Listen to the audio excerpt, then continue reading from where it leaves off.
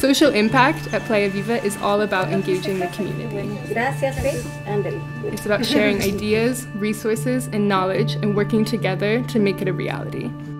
What does the community think is important? At Playa Viva, we are intentional about bringing in volunteers to participate in community projects.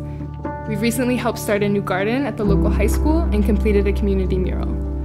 Guests are often interested in the social and environmental impact projects, and I always encourage them to come into the town of Juluchuca, which is where I also live. They can visit the community kitchen, the coconut factory, the schools, and meet the local people. When people visit a place and get to know the community, they realize that there are so many ways to give back. It's often their most memorable part of coming to Playa Viva.